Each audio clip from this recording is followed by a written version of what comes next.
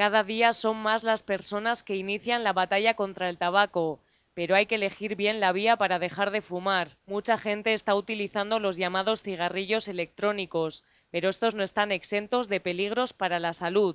Al parecer, y según indican los expertos, ni ayudan a dejar de fumar ni es una alternativa segura para hacerlo. En 2009, la Agencia Estadounidense del Medicamento analizó varias marcas de estos cigarrillos y alertó de la presencia de sustancias tóxicas.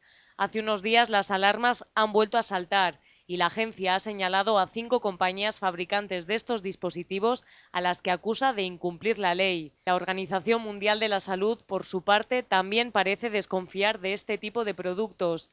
Hace dos años advirtió de que todavía no existe ninguna evidencia que demuestre la seguridad o la eficacia de estos cigarrillos electrónicos.